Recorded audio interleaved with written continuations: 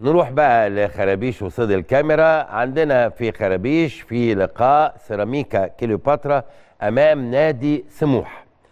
طبعا أحمد ياسر ريان يا أحمد أنت أصبحت لاعب مصنف دلوقتي وأتصور النادي الأهلي حاطط عينه عليك مع نهاية الموسم.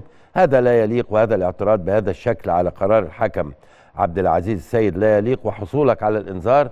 يعني بنتوسم فيك حاجة كبيرة يا أحمد.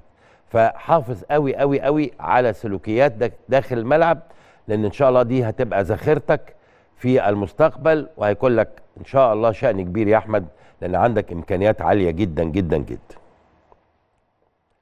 صيد الكاميرا ومباراة المقصة والجونة. في الدقيقة الأخيرة من زمن الشوط الثاني رد فعل عصبي جدا من جانب باسم مرسي مهاجم طبعا مصر المقصة. بعد ما ضيع انفراد تام أمام حارس الجونة إسلام طارق. يعني طبعا رد الفعل يعني هو طبعا كانت فرصة كبيرة جدا جدا وفعلا مهاجم لما بيضيع خصوصا بحجم باسم مرسي ما يضيع فرصة كبيرة زي دي أكيد بيبقى رد الفعل صعب شوية. لكن يعني كله بيضيع كله بيضيع يا باسم إن شاء الله.